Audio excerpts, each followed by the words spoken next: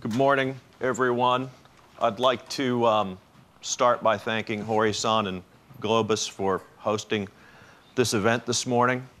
I'd like to thank our distinguished panelists for joining us today on what I hope will be a lively discussion. And I'd like to thank all of you for braving the weather to come out and discuss the state of trust in Japan. This is the um, 12th year we've done the Trust Barometer, and we do it in 25 countries globally. We look at opinion leaders as well as a general population sample, and this is the first time we've looked at general population. Um, we started this a decade ago because we wanted to understand the relative level of trust in business versus government versus non governmental organizations and versus the media. Because we wanted to understand how business in particular, and increasingly government, needed to manage relationships with civil society to pursue an agenda of economic growth. So, the state of trust this year um, is fragile, not only in Japan, but globally. In the 12 years that we've been doing this study, we saw the most dramatic single year decline in trust in government that we've ever seen. So, one of the themes I'm going to talk about today as we go through the presentation is what I call the democratization of authority where we're seeing traditional authority figures decrease in credibility, and peers, your peer group, and technical experts rise in terms of credibility and authority and trust. Every year when the trust barometer comes out, the first thing I look at is what I call a trust index. So I take the average scores for each institution in each country add them together, and divide by four. And that gives me a general feeling if the number's above, say, 50, we're in net truster territory. And if it's below 50, we're in distrust territory. So the first thing I look to is where I see trends. And I see a big trend here in terms of the growth of the number of markets which are in net distruster territory and that's across all institutions of civil society. And if we look at Japan, last year Japan was at a 51% index score, which is in neutral territory, neither trusting nor distrusting. We saw a big move down for Japan this year, N- not surprisingly because of your March 11th, the impact of post March 11th, as well as um, a couple well known or well documented corporate cases, Olympus comes to mind. And to, to give you another sense, we have Spain in your neighborhood of distrust, another market that went from essentially neutral to distrust. But in Spain, we have 23% unemployment. And we have youth unemployment of 45%, just to give you a comparison of their domestic and economic situation versus yours. Um, I think uh, the other thing I look at when I think about the big drop in trust, the trust index for Japan is only 10% of all the respondents of our Japanese poll feel the country is on the right path. So you've gone from net neutral on trust index to net distruster of the four institutions we measure, and only 10% of your general population respondents feel the country is on the right track which is 25th out of the 25 countries that we measure. But the news will get better, I, I promise. Now, we actually used Japan as a case study this year of what can happen when trust in institutions has been significantly damaged. And if you think about what happened coming out of March 11th in terms of the response of business or the utility the response of government and the kind of slowness um, of responding from the local media, as opposed to the um, sensationalized response from foreign media. And we see, I think, in, uh, the results of that here. Trust in government dropped 26%. Trust in NGOs down 21%. And I'll come back to that NGO figure. Trust in media down 12%. Trust in business down slightly, but from net truster to net distruster. The most interesting thing for me here is trust in the energy sector down 46%. Trust in banks down 20. So you have economic issues and you've got obviously energy and transparency issues related to both of these industries. We also have a huge drop, down 55%, in trust in a government official as a spokesperson from 63% to 8% trust. That's the lowest figure we've ever seen for trust for spokesperson credibility. Now, when we look at this globally, just so we can, I'll go back and forth between global data and Japan data. When we look at this globally, three of the four institutions globally were down in the last 12 months. So we saw NGOs decline, we saw um, business decline, we saw government, again, the single largest one year dip we've ever seen, Media, uh, and we saw business statistically flat. So business actually fared well, and I'm going to talk about that a little bit as well as we go on. When we look at the Japan results, all institutions had a dramatic decline. However, business is still, or is now, the most trusted institution, again, as it was last year, but on steep declines across the board. And again, I'd call your attention to trust in government being at 28%. And when I talk about trust in an institution, specifically what we ask here is how much do you trust each institution to do what is right? So it's a, a general reflection of trust in that institution. So we're seeing a pretty skeptical or cynical audience in Japan when it comes to the general population views of Japanese institutions. When you look at trust in government, so we had a big decline here as well as a lot of other markets.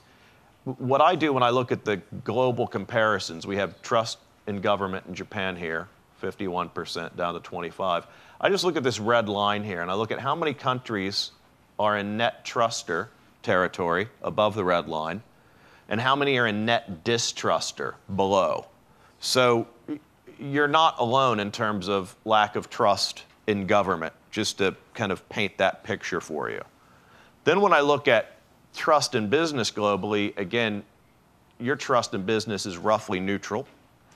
But I draw this line across and I look at countries above the line and countries below, and I see business really starting to get a little bit of space between itself and government in terms of trust in the institution, which we're starting to interpret as a call for more technical expertise and trust and technical expertise when we look to the functional parts of the economy globally versus trust in government policy when we look to the functional parts of the economy. When I look at trust in industry, so if we think about trust in business in the country down, but still in net neutral territory, then I start to look at trust in specific industries. I see something interesting in the Japan data. So I talked already about the big drop in energy from second most trusted at 75% trust to least trusted of the institutions we measure at 29%. What's interesting for me here is everywhere in the world, every country, 24 out of 25, technology is the most trusted uh, industry. But in Japan, we see a nice move up for automotive, only two percentage points, but in the rankings, it jumps up three spaces to the most trusted institution which I think is a nice point to recovery of your automotive industry and some pride in your automotive um, industry as well. Now, media is the only institution globally to rise. In Japan, however, like other institutions, you had a drop. So roughly one third of our respondents trust media. But again, I put this line across here and I look at where media is trusted and where media is not trusted. We tend to have high levels of trust in media in emerging markets China, Mexico, Indonesia, and uh, India. We saw a big bump up in general, we see to tend to see higher trust in media in rapid growth economies. Because in general, we tend to think there's slightly better news coming out of media, as well as in a lot of the media, a lot of the markets that reg register high trust in media, they're in controlled media environments where there may be some government ownership of media. So a lot of times government and media trust scores are linked in rapid growth economies. So as long as the economy is growing, we tend to see higher levels of trust in government and higher levels of trust in media. Um, I expect that over time, those emerging market or rapid growth economy scores will come down and be more um, comparable to developed economies when we look at the, the Japan data on media, and, and this is interesting to me, when I look at all sources of media um, in the country have come down. So our trust in our traditional newspapers has dropped. Trust in online sources has dropped. Trust in social media has dropped. And trust in corporate sources of information. So think about that as your dot com properties have all, all gone down. I think this is temporary. I think this is a reaction to what's happened post March 11th. I think these will bounce back up much more quickly than the trust in government numbers will bounce back up. Um, I think this is just a reaction to general cynicism in the Japanese sample more so than anything endemic in the media. Um, although I'm sure that will come up in the panel discussion um, quite aggressively. NGOs are still the most trusted institution globally. We saw a drop here in Japan in the last 12 months. And, this may seem counterintuitive. However, usually when you have a natural disaster, there's a great call for transparency and accountability of NGOs, that people in the markets that are affected want to know that the money that was given to NGOs or the supplies that were given to NGOs get into the hands of the people who, who need it the most.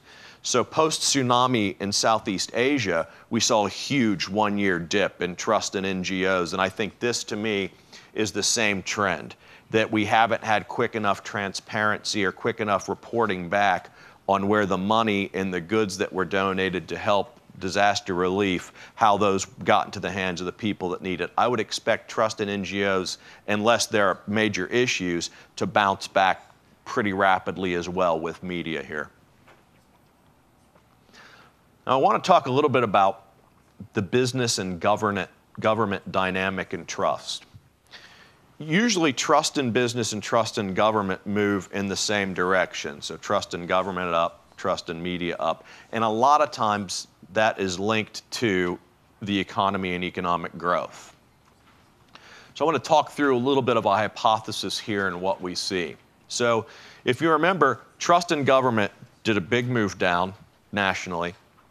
Trust in business was down, but not as markedly. Even so, I just want you to think about the gap we have between business meeting the public's expectations in Japan and on the next slide, I'm going to show you government's performance versus expectation. So the light blue line is the expectation of our Japanese respondents for business performance on taking responsible actions to address an issue or a crisis.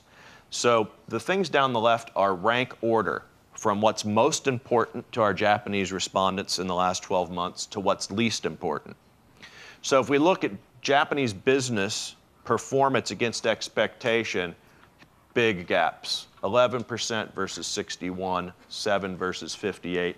And if you look at what the drivers are or what the expectations are, we have taking responsible actions to address an issue or crisis, being transparent, treating employees well, listening to customer needs. We're starting to see what I would call softer, values based expectations of business versus harder, core competency based expectations of business rise to the top in importance, and our gaps for performance are pretty significant.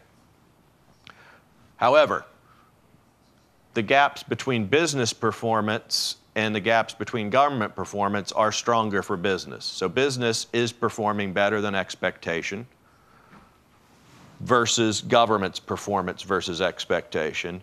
Business more trusted than government is. And again, if you look at the expectations, most important expectations, you see transparency come up again with government, top. Communicates frequently and honestly, so I could also make an argument that that's related to transparency. Listens to citizens' needs and feedback. So the top three here, expectations again, or what I would call more transparency based and value based, societal based drivers versus necessarily core competency, economic driven drivers of government. So, coming out of crisis, we're seeing what I would suggest is a more uh, higher expectation for values based behaviors versus traditional core competency based behaviors. We want to see engagement, greater engagement, greater transparency, and quicker action to address issues coming out of March 11th. The other interesting thing for me is here's the Japan results. We asked um, our respondents Do you believe that government or business will mislead you in communicating with you? And I, I think it's interesting that even though trust dropped dramatically in Japan and all institutions, we still actually don't think that business is going to mislead us. Only 11% of our respondents felt business would actively mislead them. So I'm going to be optimistic and say that's only 1 in 10. And when you compare that to other markets, it's not so bad. However, 34% of us think the government is going to actively mislead us. So still under 50%, but three times greater than the expectation that business will mislead us. So trust in government down, business basically flat, so there's an opportunity there. Ex- performance versus expectation for business versus government, business better. And our expectation that business is going to mislead us is less than our expectation that government's going to mislead us. So we start to see a little bit of opportunity here for business to start to lead in what I would call policy driven discussions. Now, even though we're not trusting the government, we still, a third of our respondents here, would like to see some stronger regulations around business. In particular, when those regulations relate to things that are going to protect consumers and regulate business activities against responsible behaviors. So think about supply chain, think about community relations, think about taking care of your employees, labor, those kinds of things. So contextually, we have this relationship between business and government that tends to move together. In Japan now, we have a pretty significant gap between trust in business and trust in government. Therefore, I think in Japan in particular that there, from the general public sample, there's a desire to see one institution start to lead some forward progress in Japan, both in terms of some social repair and in terms of some economic progress. So if, if I look at kind of what happens on a global basis, I'm going to make a general global observation here. That when the economic crisis driven by my country's uh, mortgage issues in 2008 kind of drug the global economy down, there was a very low trust in both business and CEOs. And as a reaction to that, there was a real call for increased regulation. So, whilst the governments globally responded with increased regulation, they didn't do a very good job of implementing that regulation. So, we had big fights between opposition, both in Western Europe and the United States, about trying to get those regulations through. Therefore, we've seen very little movement on the regulatory front, and we're starting to see now an expectation from general population respondents and opinion leader respondents to want to see business to self-regulate or to start to drive the policy decisions and discussions again themselves, starting to lead government. And I think that's because most of our respondents see business as being a little bit more agile a little bit more quicker to act versus governments who are kind of stuck in, in, between battles and parliaments to move the agendas forward. So I actually think this starts to give business an opportunity to lead, but to take advantage of that opportunity to lead, there's an expectation that business is going to have to start performing on the drivers of trust a little bit differently. And, and, what this slide says is this is the rank importance of this is the these are the most important drivers of trust in business in Japan. So this is the number one, that's number 16 in rank order. And what that's no good. Ah, there we go. Um, trust in electronics. Um, um, I want to call your attention to two things here. The first thing is the difference between the green and the blue. The green are what we call social drivers or societal drivers of trust. Takes actions to address an issue or a crisis. That's been a bit of, of a theme in your country. Listens to customer needs and feedback. Treats employees well. Broadly addresses society needs. So things that are what I would call more traditionally soft drivers of power versus operational drivers of trust, which tend to be a little bit more core competency based. So, Japanese business is performing very well, it performs best on the least important driver of trust. So, if business wants to take the mantle of leadership, and I believe it can, business needs to start to change the dialogue it's having with its stakeholders. It needs to start engaging stakeholders on what's important to the stakeholder, Trust, yes. it needs to start engaging um, its stakeholders in the things that are most important to those stakeholders, which is just an inverted pyramid versus what we have. And it also needs to start addressing those stakeholders, not necessarily directly, but with what I would call this democratization of authority in mind. So, the most trusted spokespeople about business, a technical expert within the company, not the CEO. Trusting the CEO is down, although still, you know, third on this list here, or I guess statistically kind of fourth on the list. CEOs have dropped what we're expecting and what our general population and opinion leaders are both expecting that they want business to engage. They want business to engage on more socially driven issues than what I would call operationally driven issues. And they want business to engage with multiple sources using a technical expert. So think about white coats instead of suit coats. Start to think of academic or third party experts engaging on behalf of business versus the business itself doing it on down. So, again, at the bottom of the list here, we don't want to engage government in communicating about business, not so good, but we do want some third parties here. And we also see person like myself, so peer to peer, being very important. Okay, I'm going to finish up. Not only do we have to start to communicate on social drivers versus operational drivers, we want to start to use technical experts and third parties versus C suite executives we also need to start talking to our stakeholders frequently because there's high skepticism. Respondents in Japan need to hear things three to five times. 82% of our respondents say they need to hear things three to five times about business before they believe it. So, multiple sources, multiple channels, transparency, and engagement. And before I kick back over to a panel discussion, I would just kind of leave you with a few thoughts. That I think there is a real need here to start to get back to some basics in communicating about our values as an organization, as a government, and as business. And to start to use values to back up and support decisions we're making and actions we're taking.